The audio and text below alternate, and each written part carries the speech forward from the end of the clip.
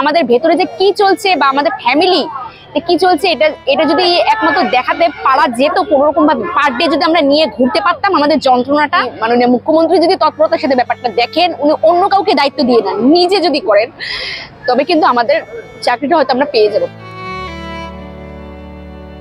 এক পাশে সচল রাস্তা, আর অন্য পাশে নশো পঁচাত্তর দিন ধরে থমকে রয়েছে জীবন। কাদের জীবনের কথা বলছি? যারা চাকরি প্রার্থী। তাদের লড়াইটা শুরু হয়েছিল দু সালে নতুন বছর থেকে। নতুন বছরে তারা বসেছিলেন প্রেস ক্লাবের সামনে মেয়ো রোডের ওপর। তাদের আন্দোলন চলেছিল এক মাস। তারপর সেখান থেকে সল্ট লেকে যান তারা।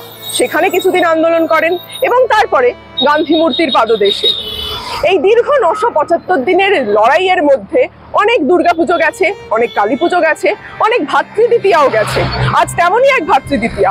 প্রতি বছর আমরা তাদের কাছে আসি এবং প্রত্যেক বছর তারা তাদের এই যন্ত্রণার কথা আমাদের শোনান। কিন্তু এই যন্ত্রণার শেষ কবে? কবে তারা চাকরি পাবেন এবং কবে এই ভাতৃদ্বিতীয়া এবং অন্যান্য উৎসব তারা পরিবারের সঙ্গে কাটাতে পারবেন, তার এখনও কোনো নিশ্চয়তা নেই। কত দিন দিন সংখ্যা দিয়ে একটা সত্য প্রতিষ্ঠাকে বাঁধা যায় না। কবে সত্য প্রতিষ্ঠিত হবে?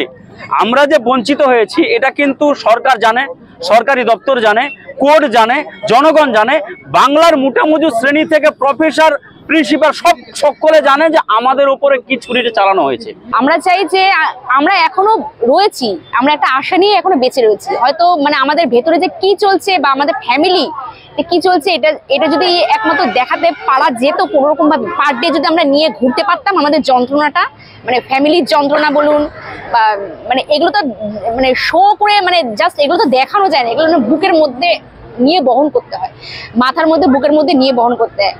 আমরা সেটাই বলতে চাই মাননীয়াকে যে যে সমস্ত যোগ্যরা এখনও রাস্তায় রয়েছে আপনি যদি তৎপরতার সাথে আমাদের নিয়োগের ব্যাপারটা ভাবেন আমরা কিন্তু পেরিয়ে যেতে পারব আমরা কিন্তু চাকরিটা পাবো।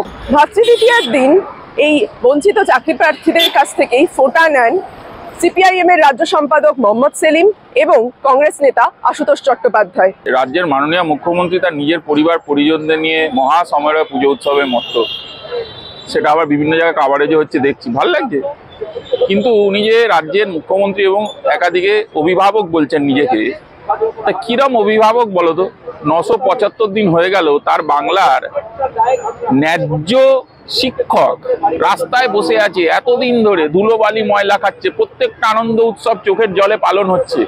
আজকে যে ভাইফোঁটাটা দেখলে এতে যেরকম ভাইফোঁটার আশীর্বাদ আছে, মনে কষ্ট, দুঃখ, বেদনা, যন্ত্রণা, অপমান সহ্য করে চোখের জলে আজকে ভাইফোঁটা নিতে হলো।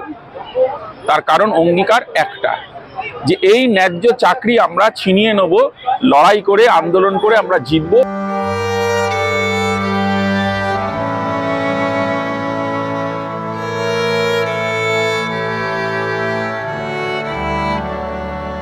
সৌরভের সঙ্গে প্রচেতা আনন্দবাজার অনলাইন।